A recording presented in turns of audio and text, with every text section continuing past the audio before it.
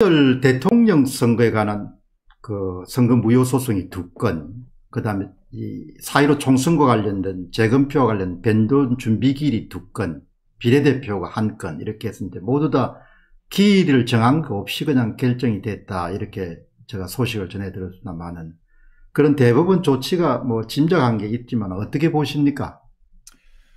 네, 사실 오늘 어, 준비 기일은 저와는 직 접적인 연관이 좀 적었습니다. 왜냐하면 예. 이제 어, 재검표라면 제가 어디나 이제 달려가는데 준비 기일이었고 또 준비 기일인데 당사자가 또 연락을 해봤더니 당사자가 가지 않는다고 해요. 음. 근데 이제 저까지 갈 필요는 없겠구나 이런 생각을 했고 음.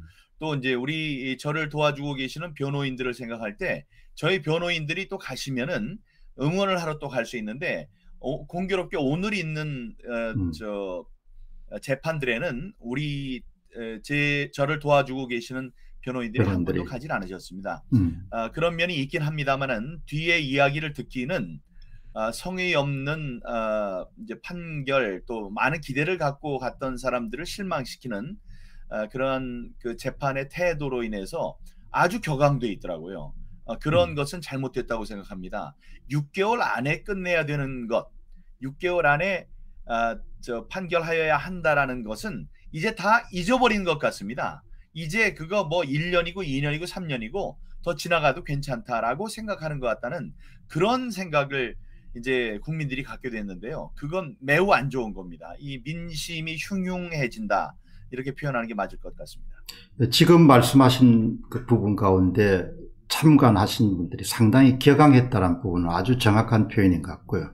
특히 이제 이번에도 어, 대법원 특별 2부의 민주숙 그 대법관이 주심을 맡은 모양이거든요.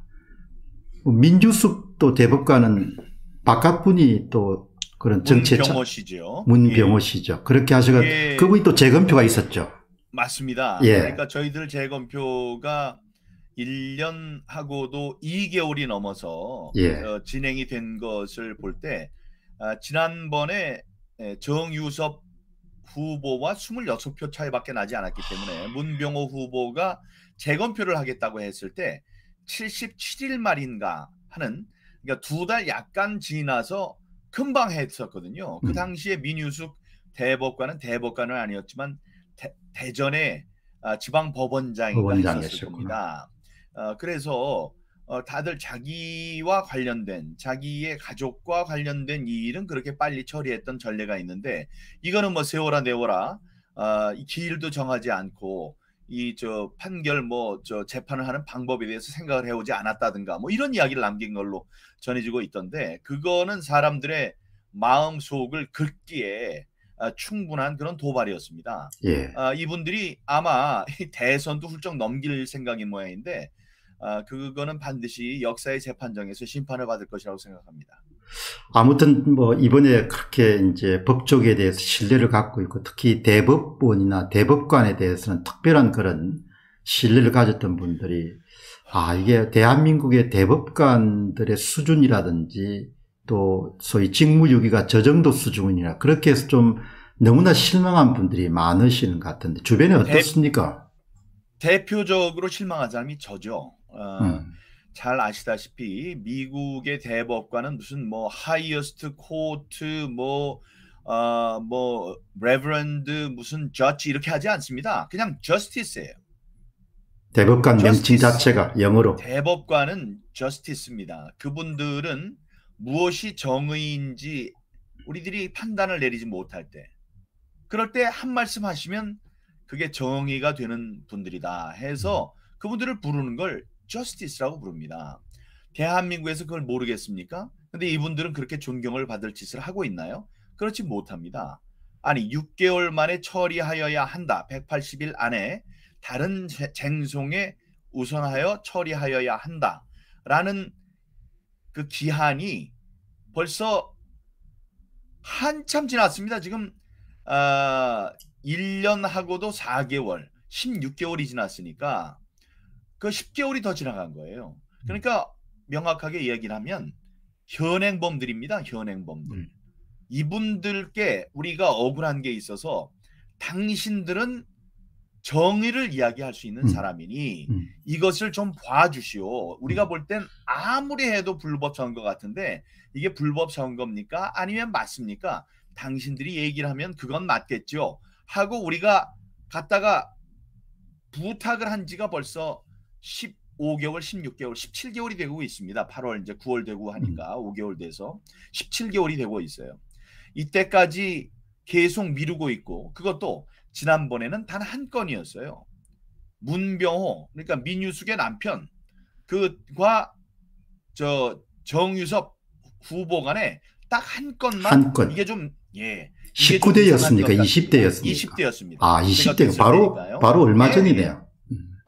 저랑 같이 어, 의정 생활을 하시던 분이신데 그분 한 분만 그분이 한 게 아니죠. 문병호 딱 한 분만 이상하다고 했었습니다. 이번에는 125군데에서 예, 저 후보만 한다면 한 25명이 어 이거 이상해 하고 손을 든 상황이에요. 예, 근데 지난번에 딱 한 번 있을 때는 77일 만에 싹 해결을 하더니 125명이 손을 들고 125군데에 그 반수에 가까운 겁니다. 253에. 예, 반수 가까운 사람들이 이 선거가 이상합니다라고 이의 신청을 했는데 지금까지 그냥 잡고 있겠다. 그래서 대선까지 지나 지나서 판결을 내리겠다. 그렇게 생각한다면 이 을사오족이 달래 을사오족입니까? 예, 을사년 하면 생각나는 나라를 팔아먹은 나쁜 사람들 다섯 명이 있지 않습니까? 지금 여러분들도 지난번에 있던 사람들 이번에 네 명 온 예, 이런 이분들 말고 전에 있던 뭐 김상환, 뭐 노정희, 어, 박상옥, 뭐 이런 안철상 이런 사람 그 거기다가 김명수 해서 어 이 뭐예요 그 저 이 경 어 경자년 경자 예. 오적이라고 우리가 얘기를 했었는데 이제 경자 구적으로 늘리려고 하는 겁니까? 정신 예. 차리시기 바랍니다. 지금 특별 2부에 구성하신 분들은 조재현, 천대엽, 그 다음에 방유숙, 그 다음에 이동원입니까? 민유숙, 이동원, 이동원. 민유숙. 이렇게 예. 돼 있으시구나. 그렇습니다. 박- 네 예. 명입니다. 네 명이시구나. 그런데 현재는 이제 뭐, 그, 민경욱 전 의원이 미, 이 페이스북이 일종의 미디어가 돼 있는데, 그래도 뭐 페이스북이 그, 그걸 폐쇄 안 하니까 참 고마운 일이죠. 그런데 그 미디어에 보면은 이제 얼마 전에 정말 대법관들에 대한 믿음을 내가 참 놓아야겠다. 그렇게 글을 쓰신 거를 보- 봤는데 큰 글로 그런 걸 쓰신 적이 있으시죠? 며칠 전에 썼습니다. 그것은 어, 존경하는 우리 공 박사님께서 여러 차례 지적해 주셨습니다마는 우리들이 믿음을 잃어버리게 했습니다. 우리들이 사진을 찍어야 되겠다. 이것은 공개돼야 한다.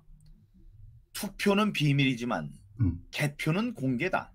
그런데 그 개표가 이상하다고 해서 다시 한번 재검표를 하는 것은 미국의 경우에 전혀 관계가 없는 태평양 건너에 제, 제- 저라도 24시간 볼 수 있도록 되어 있습니다. 볼 수 있죠. 수많은 수시- CCTV로 예. 예, 방향을 바꿔가면서 몇 개가 24시간 동안 사람이 하나 없을 때도 계속 비추고 있어요. 그러면 이 클로즈업은 어떻게 하느냐? 클로즈업은 하나하나씩 찍는 그 자체가 재검표입니다. 예. 근데 우리가 그걸 좀 찍자 그랬더니 못 찍게 해요. 그래서 찍어야지 이걸 못 찍게 하면 어떻게 하느냐 했더니 그분들이 뭐라고 그랬어요? 아 걱정 마시라. 우리가 찍는다. 우리의 기술사가 저기 있으니까 저분이 찍고 당신들이 필요할 때 저걸 보면 된다라고 철석같이 약속을 했습니다. 그랬던 사람들이 어느 순간에 지난번 영등포 을 개표를 하는 순간에 현성삼 변호사에게 얘기를 했어요. 지난번에 있던 사진 어디 갔느냐? 몽땅 삭제했다. 아니 그걸 삭제하면 어떻게 하느냐? 그거를 찍은 것은 검증 조서를 작성하려고 했는데 검증 조서가 다 끝났기 때문에 삭제했다.